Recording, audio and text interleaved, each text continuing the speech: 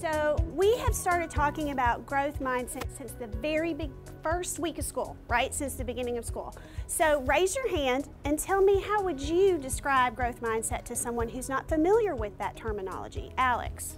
I would describe it as the learning goals need to be very clear for students. They need to be posted. We need to discuss them. We need to be able to refer to them several times throughout the lesson. So if that means putting them on the flip chart, having them on the whiteboard, referring back to them throughout the lesson. Do you know what that's called when you're having that conversation in your head and you're thinking about your thinking? Olivia? Metacognition. Metacognition. So we've talked about that this year also that when you're aware of your thinking, you can change things. You have the power, right guys, to change your actions, how you're feeling about things, outcomes. It's a ripple effect. And I think internal summaries are something that are just so valuable in a lesson, going and talking about where are we with the objective?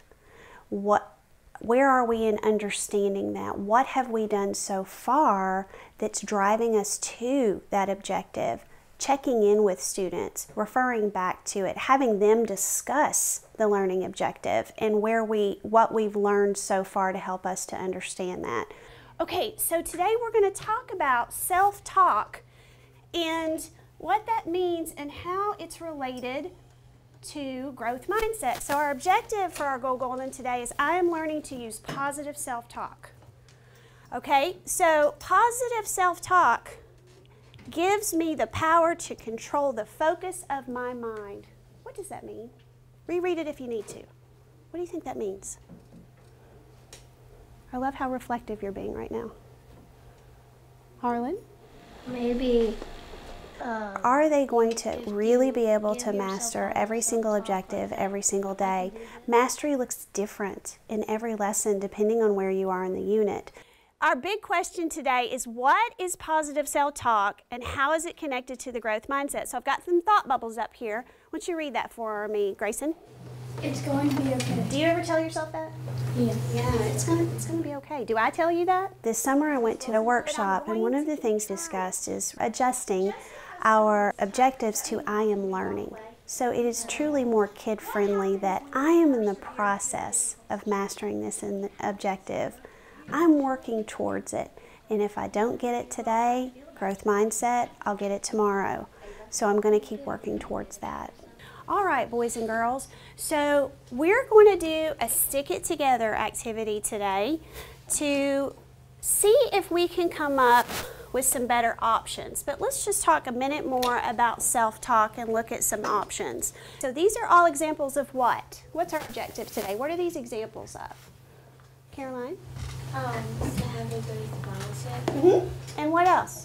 To change, um, to positive self-talk. Yeah, so these are all examples of how um, we can basically have this dialogue in our head so that when we feel that negative train coming down the tracks, we can redirect it into a more positive direction, okay?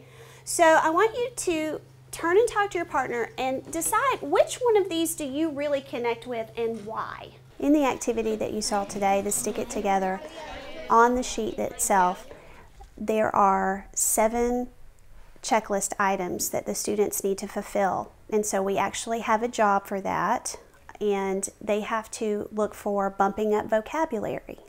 So we're going to do our Stick It Together activity now. And um, I have groups for you uh, set up. So our big essential question for our growth mindset Stick It Together is what can you say instead of, is this good enough? Why is this a better choice. So remember, we've done this throughout the year where you take a post-it, you have some private think time to fill out your post-it. Then your group comes together and you decide on your best answer, okay? Keeping in mind your checklist of things that you need in your best answer. When each person in your group has had an opportunity to fill out their post-it, then you can go ahead and start collaborating on your best answer. Be mindful of your checklist this is a better choice because you guys are doing fantastic. Okay. Instead of saying, I can't do this, you can say, I can do this. I can make my work better. You can also tell yourself, this is good, because you always need to believe that you can get the answer right. This can also help you learn from your mistakes. Now, guys, what a phenomenal job you did today. I just can't even tell you. Your answers were insightful, they were concise, they were well thought out. All right, guys, so I want you to give me a fist of five. How are you feeling about adopting or incorporating or trying positive self-talk in your daily life. Give me a fist of five. A fist, I don't think I'm going to take this strategy. Five, I think I need to try this every day. We, when I need students to reflect on their learning or their understanding of a lesson, there are several different strategies that I use. A simple is a fist of five. A fist, we joke around, I wasn't even really in the room, Miss Olandt, my brain was somewhere else. A five is I could probably teach the lesson to a third grader. Good. I will question them. Um, and based on their fist of five, sometimes that's how I decide how my small group is going to be. So I'll pull those that are a zero to two, and those will be my small group friends for that day. So that reflection piece is critical for me going forward in the lesson. I may have an idea of who I want to pull that day. Well, sometimes things just don't work out like you plan. So using that reflection piece is really helpful. Okay, excellent. Guys, give yourselves a round of applause. You were rock stars today.